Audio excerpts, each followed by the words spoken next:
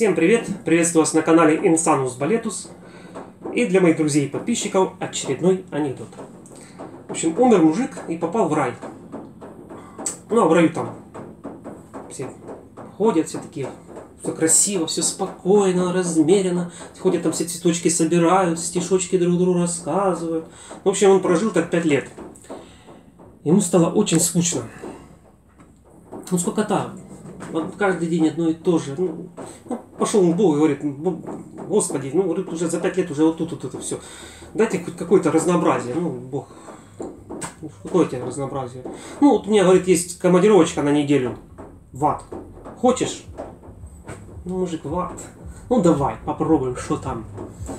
Ну, улетает на неделю в ад, а там бары, рестораны, женщины, клубы, в общем, вот это все гудешь, гулешь, в общем, красота. Мужику так это все понравилось. Через неделю возвращается в рай и говорит, Господи, не хочу жить в раю, хочу в ад. Ты тоже такой, ну, что ж ты, ну, раз тебе в раю не нравится, но хочешь в ад, ну, твое желание. Езжай жить в ад. Ну, только мужик попадает в ад, и сразу в котел, там черти его уже... Он такой, так я не понял, говорит, вчера что-то это было бары, женщины, клубы. Что это такое? А это что? А ему черти в ответ.